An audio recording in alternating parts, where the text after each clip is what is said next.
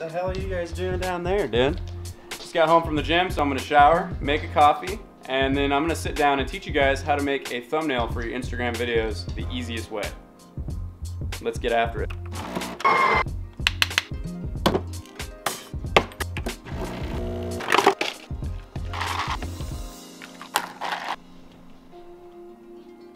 Mmm. Roll the intro.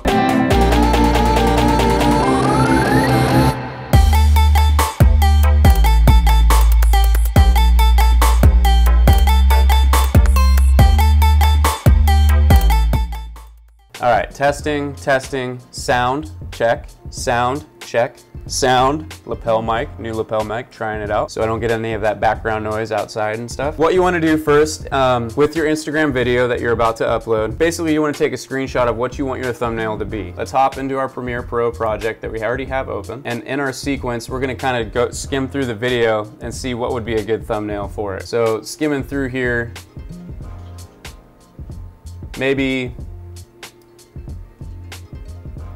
This is kind of a cool shot. It'll be kind of a cool thumbnail. So what I'm gonna do is get rid of the bars, the white bars. I can get into that in a later video if you guys wanna know how to put the white bars on there for Instagram. I prefer the white bars just because when you're scrolling through Instagram, Instagram's background is white. Instead of doing the black bars, I like the white bars. It just looks cooler. I don't know. I like that. It's my preference. I don't know. So what we're gonna do here is we're gonna just go ahead and take a screenshot, export frame. We'll make sure this is checked, import into project, hit OK.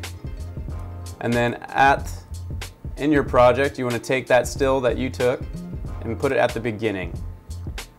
Now, with Instagram, they only let you upload a minute's worth of video.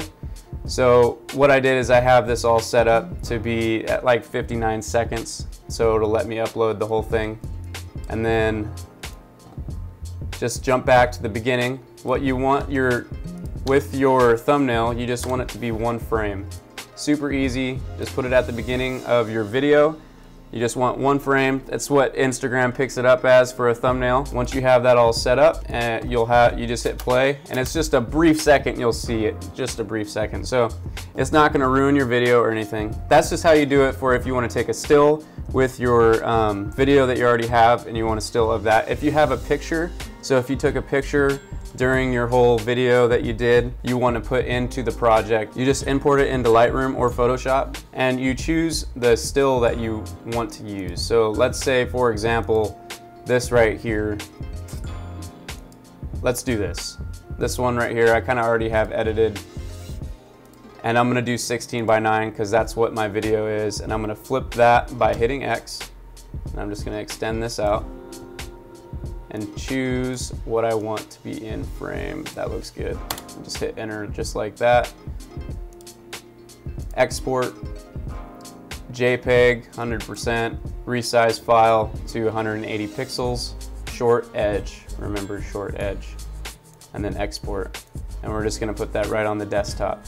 So now what we wanna do is take our still that we exported, or our photo that we took, put that into your project, drag it to the beginning of your video clip and just make that one frame. So at the beginning of your clip, you just want to scale that to frame size and you have your thumbnail. And there you have it. Just really short, so it's not really that noticeable and it makes your profile a little bit better, I guess. Um, you get to choose what your thumbnail is rather than Instagram choosing for you. So Hope you guys enjoyed that tutorial. I will catch you guys on the next video. Peace out.